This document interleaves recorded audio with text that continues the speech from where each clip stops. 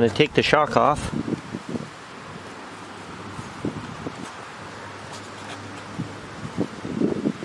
I'm going to take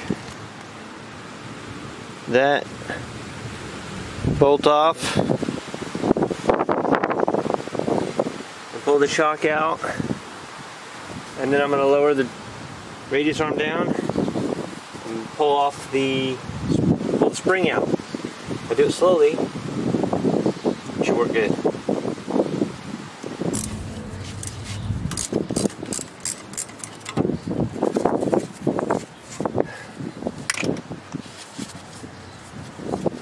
Wonder if I should have pulled the bottom one out first, so let's do that.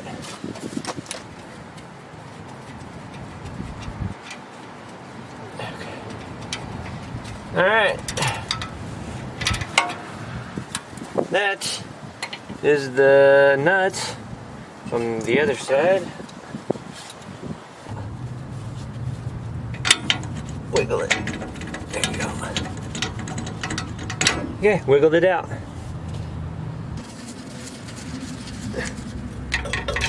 There's the shock.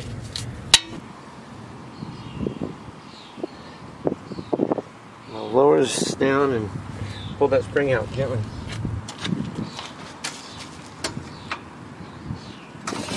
wasn't gentle.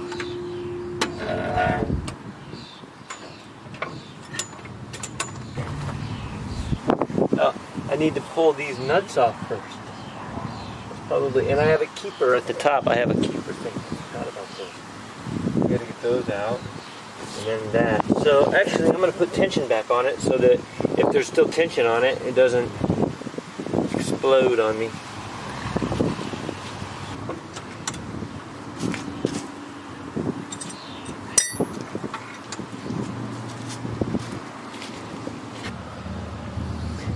Right in there is a like a keeper thing, a little radius thing that's looped over one of these spring coils, holding everything up. It's 9 sixteenths.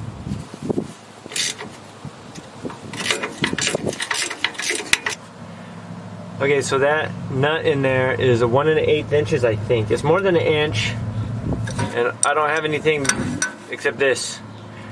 And I did spray it with penetrating fluid, oil, liquid wrench uh, three days ago, so hopefully it's lubricated it enough.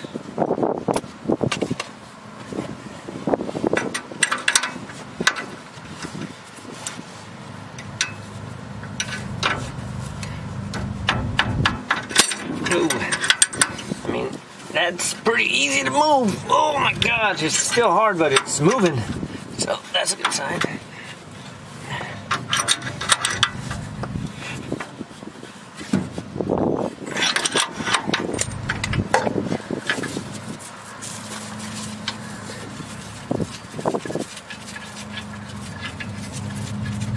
There it is. There it is. Off.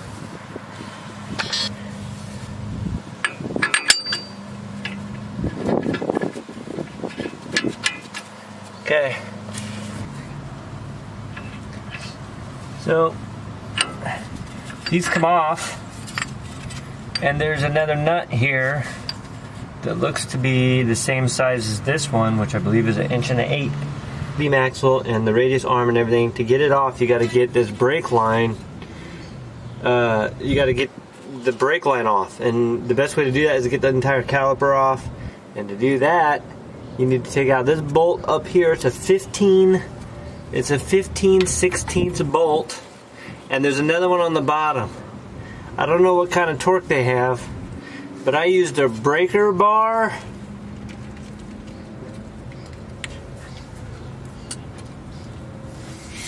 And a big old 18 inch or 20 inch pipe over my metal pipe over my breaker bar, and I still struggled to get it off. So there you go, and that is what it looks like. This bolt, which was in there holding this on. So I got torque specs for everything. I'll torque it back down later.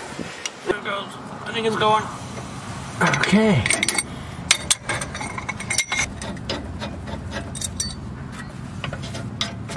There it is. And it just falls out. Well, it would have. The jack wasn't in the way. It just fell out, and I think that's because I have everything supported on jack stands. If you let everything dangle, it's probably going to put a lot of pressure on it.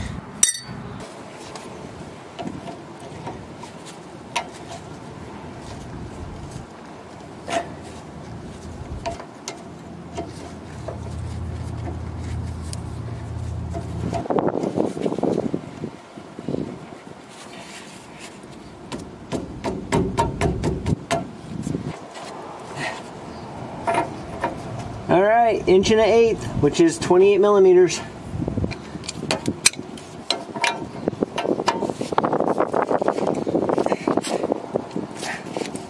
Oh, jeez.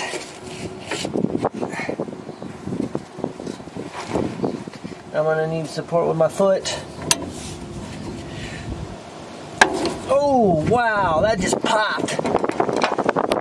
I should be able to I don't know if this will come off. Oh yeah, I guess it would. I'm thinking, um, before I knock that through back there and try to knock this radius arm out, this tie rod drag link is got to go through there, and it's still connected. And the only way to get this off is to knock it free.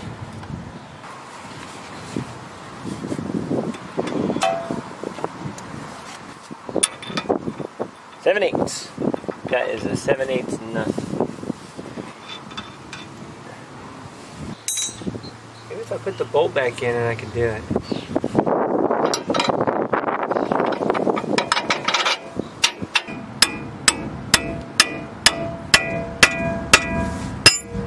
Whoa! Look at that! That was fantastic. Take this and get out of the way. Whoa, that got heavy. I guess I should have been thinking how heavy that was going to be. Whoa, yeah. I want to smash my fingers. Ah. Don't break that plate. Oh my gosh. Don't do that. The jack is in the way. Ah. Okay.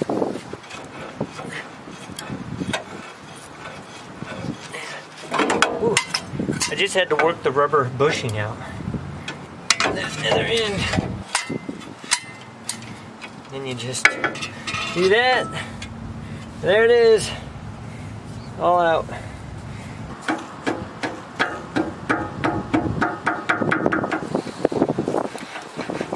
There it is. Okay.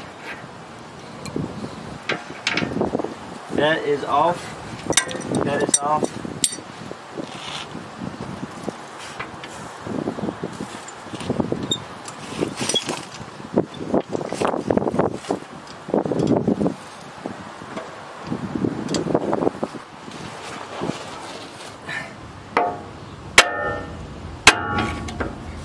Well, there's that. Now what?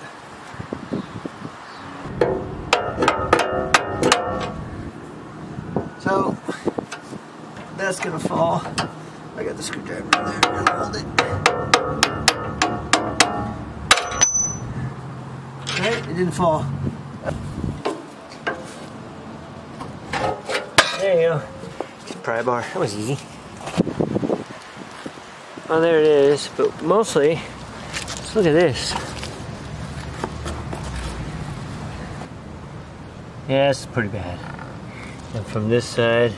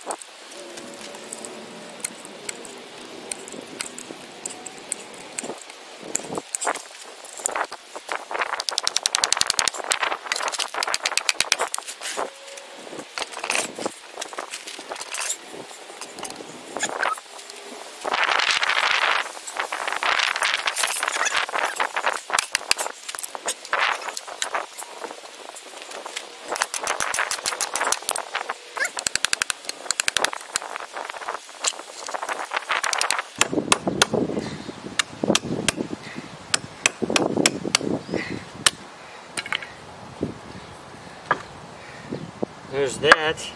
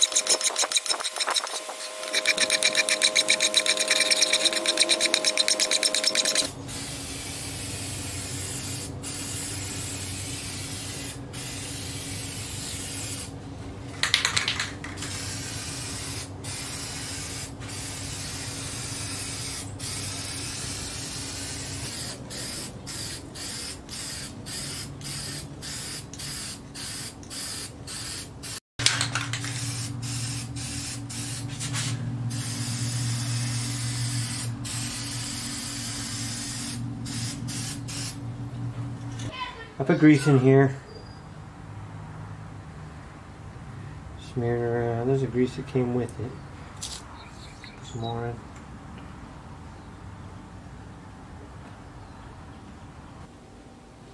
So this is this one. 3171.3 goes right up here. Mhm.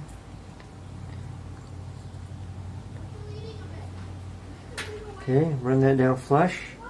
And then 3171.2 goes from the bottom, is pushing upwards, is the next one. Up to there. Then the next one is 3171.1. And it's the very next, the last one that goes in. Okay. And this one on top is 3168 and it pretty much captures everything. And there's that. Now this, I guess guessing needs more grease.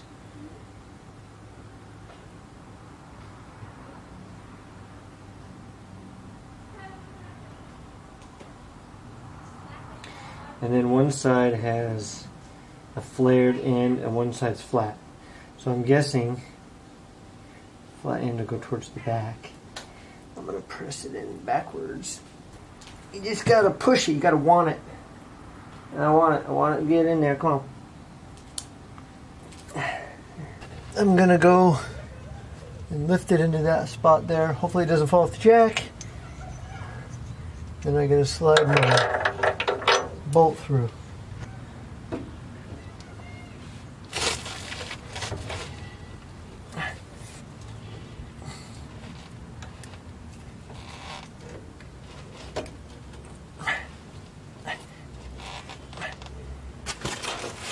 Okay, I'll put a jack stand under it in case it falls out. There we go. I'll try the big hammer.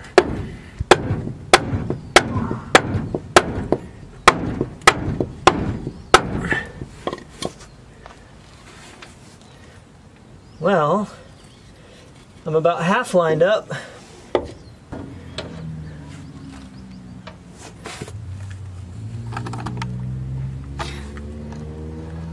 So,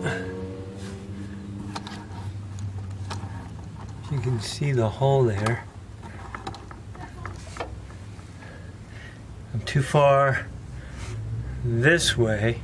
I move the whole thing. I, I need to slide it towards the back of the truck over there and just pivot the whole thing. I just need to pivot. Pivot! Pivot! Well, I'm way pivoted, so can't pivot anymore.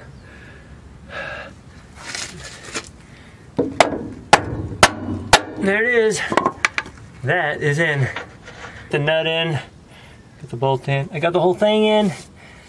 That side's being supported. So we're gonna go put that side together now. Okay. Well, I did my best. I filed that, you saw. So I painted these. So this one goes here. And then uh, I got this kit, Energy Suspension from National Parts Depot. The kit is F3B203-15 and I got 15A, which is black, and 15C would have been red. So, there you go. And then basically, they're identical, I believe. They both say 7049 on them. So you slide these on, I guess, doesn't slide on, onto there. This one slides on after you install it. And then you have your other washer that would slide on like that. Now, once these are on, like this, there is a nylon bushing that would fit like on top of this.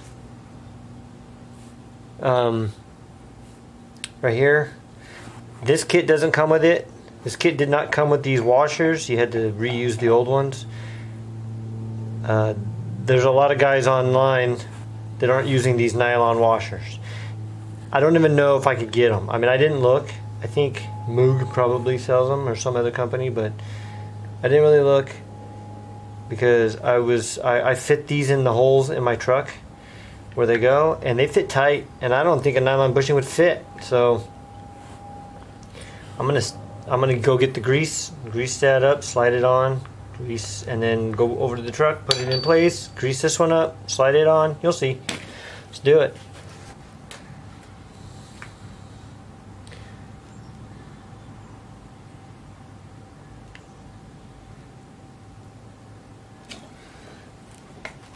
Slides on really easy with some grease. If you can see it, I gotta clean this. Maybe.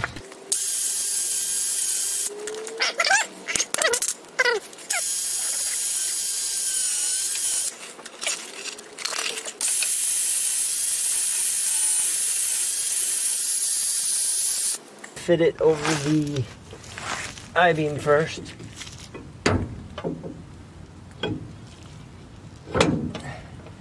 And slide this until it lines up. There you go. It's easy enough.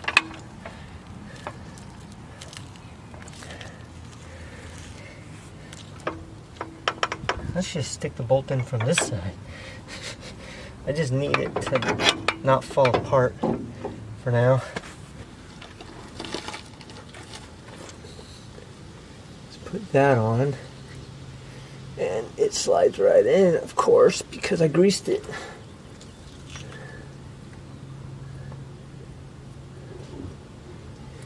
We're going to put this on. And then we're going to put this on. All I got to do now is tighten this. And see if it holds it together. Right there is the gap. Now I don't know exactly what the torque is on this, but I'm not going to do that now anyway. I'm just going till the gap is closed. There it is. That's a closed gap.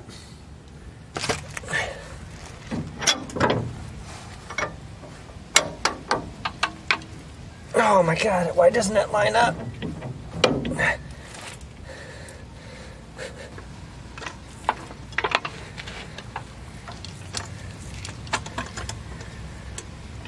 Probably not the way to do this, but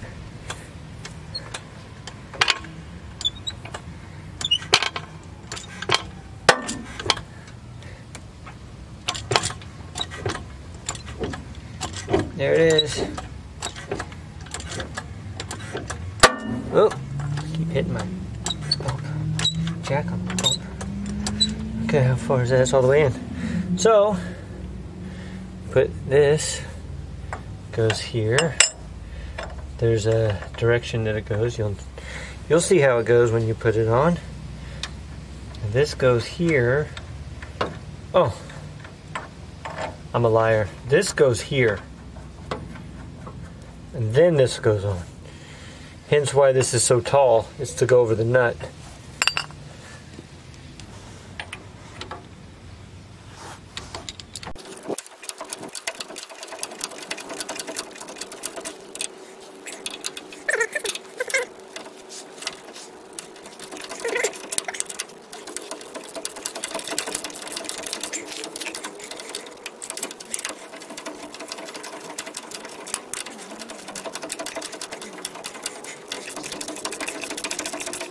Okay.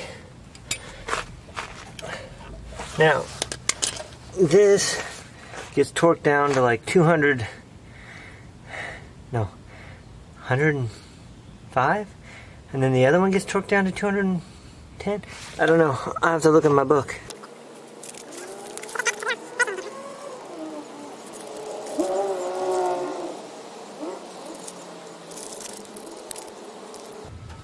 This uh, shield here goes on first. And then it has a lip inside here that sticks out. And then this anchor plate I think is what it's called goes on top of this shield. And then so what I did was I put them together put some bolts in uh, and then the top two bolts, and then I held everything, and then with my thumbs, I could hold the bolts in and slide them onto the spindle housing.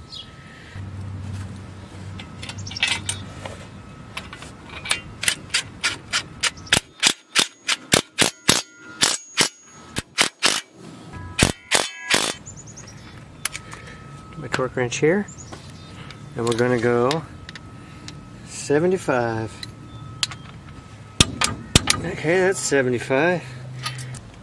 So that's like that. And then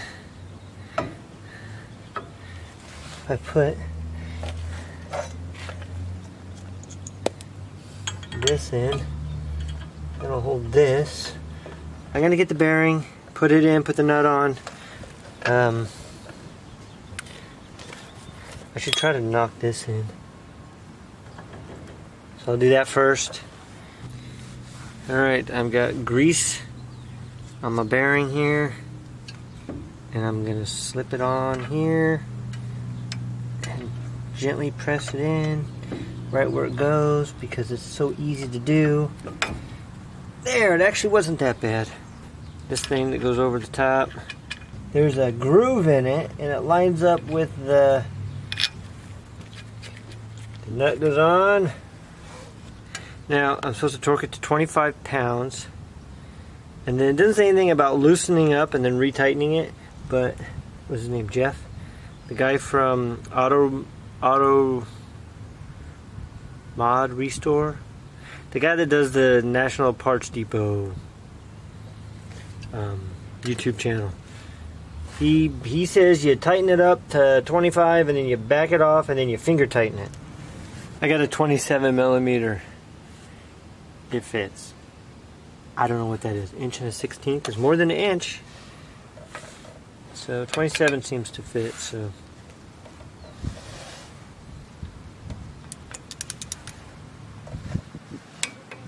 There you go, 25, and you back it off. And then he says you finger tighten it, but I'm going to finger tighten it with the socket in my hand. Cap piece that goes on like that.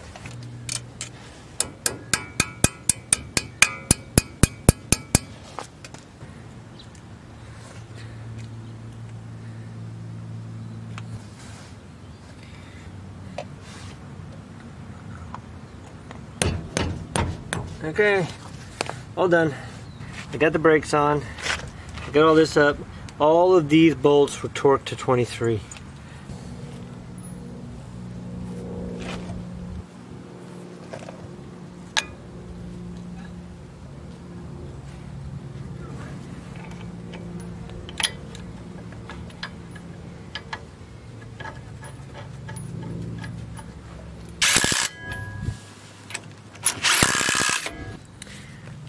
One fifty.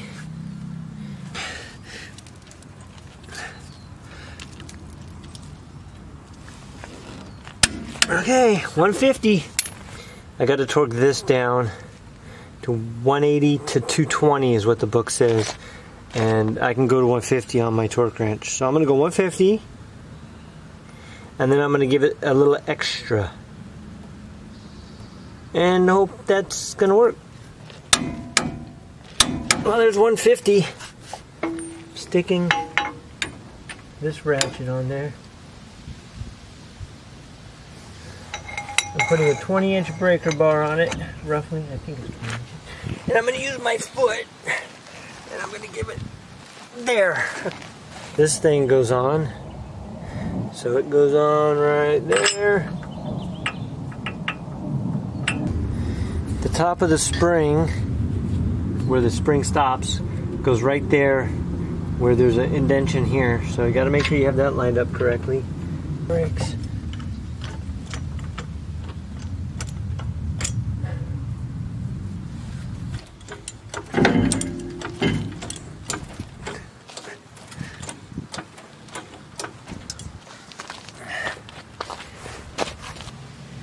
So I put my 28 millimeter, which is one and an eighth inch socket on a tall extension. And then I have a short extension on top of that. Okay. So I think that's supposed to be 70 pounds torque.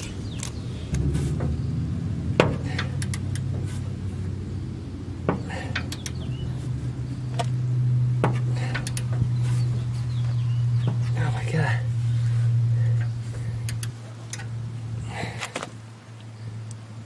Apparently, it ain't gonna get to 70. There it is, 70. All I have to do is line up my clip on the top.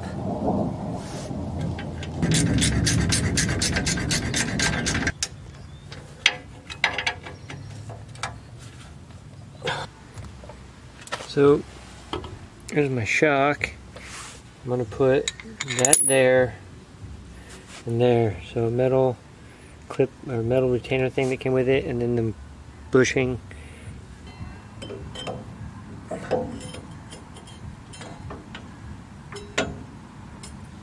Now I need to drop this thing down, I guess. I could push the shock up, but why not just drop this down? Whoa, drop this down. I'm tired and weak. I'm not sure I could push the shock up at this point. Hope I can drop it down enough.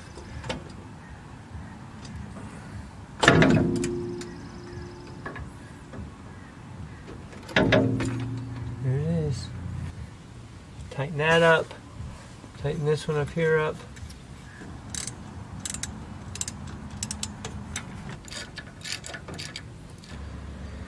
I could do the other side and then put the wheels on. Drop the truck down and then torque the radius arm. Torque that bolt back there. And then torque the into this I-beam down there, the pivot bushing, after the truck is on the ground. I got them snug tight. I think that's good. Okay. Time to do the other side.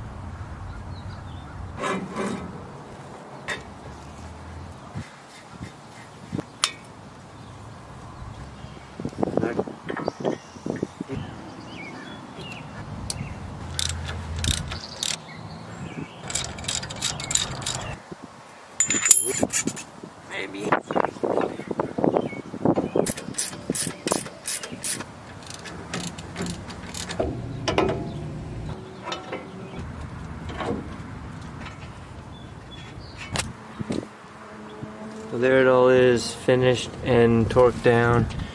You have that, goes through there, connects there, connects to the pitman arm. Um, I'm not giving you good angles, but basically